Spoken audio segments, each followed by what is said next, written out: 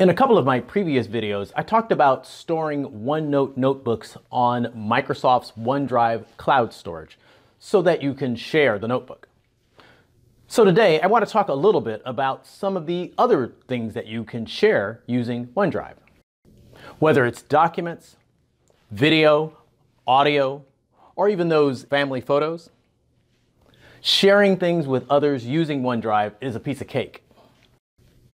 In this video, I'm going to cover some of the methods for sharing files and folders using OneDrive. I'll be back at the end of the video to share a link and show you how you can get hooked up with your own Microsoft OneDrive. But in the meantime, let me show you how to share just about anything with just about anyone using Microsoft's OneDrive cloud storage.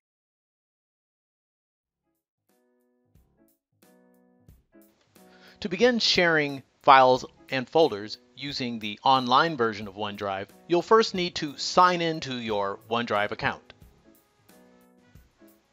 After signing in, I'll need to navigate to the folder containing the file that I'd like to share, and then select the file by clicking the small radio button to the left of the file name. From here, I can now share using one of three methods. I can select the share icon at the top of the screen. I can hold my mouse over the file and then select the share icon to the right. Or I can select the three dots and then select share from the expanded menu. After selecting the share command, I have a few options. The first one is to allow editing of the file. By unchecking this, I can also send the link and the person accessing the file can only read or view the file without editing it. I can also set an expiration date for the link to the file. The default is 30. I can set that date to any uh, number of days that work for me. And I can also add a password for the link so that anyone with the link will also need to type in a password that I've created in order to access the file.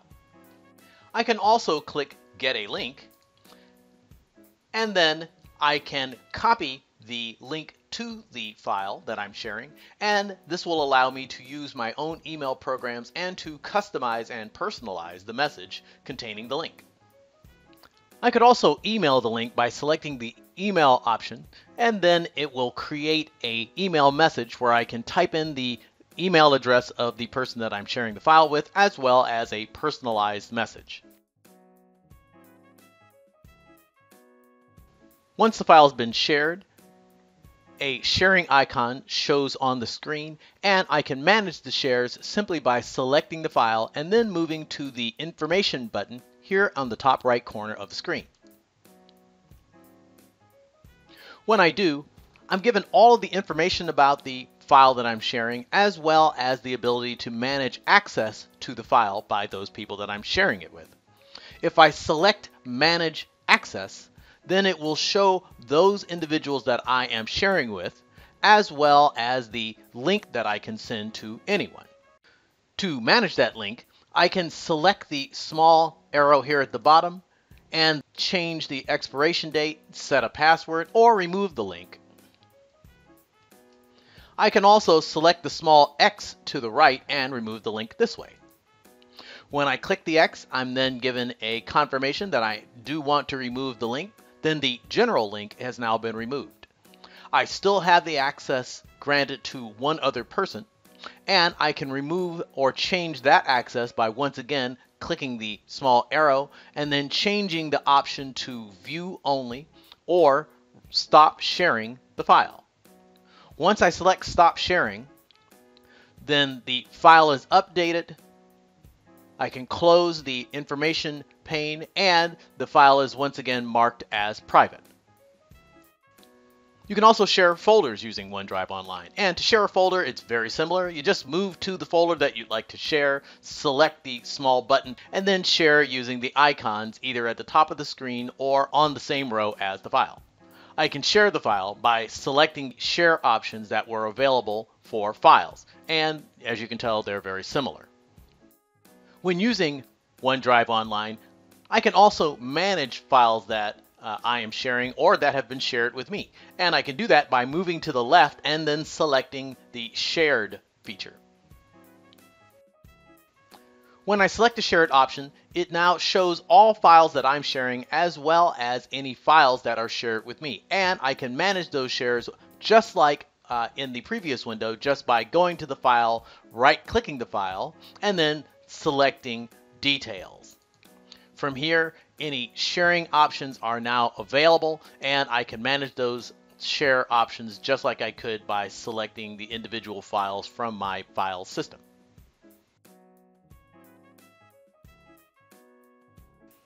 You can also share files and folders using the OneDrive for Mobile app. To share a file or folder using the mobile app, you can just navigate to OneDrive, then to the file or folder that you'd like to share, and then select the small ellipses to the right of the file. From there you can select Share, and then you have several options for sharing, including creating a link, sending the link by email, or even distributing the link using one of several applications on your mobile device or even social media.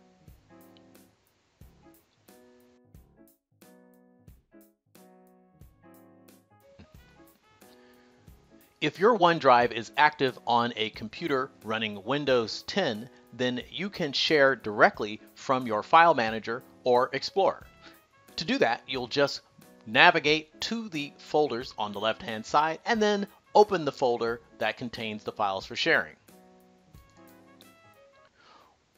Once the files are visible in the center, you can just move to the file and then right-click. Once you right-click, you can then share using Share a OneDrive link. Once you select the OneDrive link option, then you'll receive a message in the bottom right corner that will notify you that the link has been created and copied into your clipboard. You can use the paste command to paste the sharing link into any email message. So there are a few methods for sharing files and folders using Microsoft's OneDrive cloud storage. And like I promised, here's a link so that you can get hooked up with your own OneDrive. Oh, and the link is also in the video description if you need it. I hope that takes away some of the fear of file sharing by using OneDrive because sharing is supposed to be easy and fun. So until our next video, thanks for joining me. And I'm Wayne.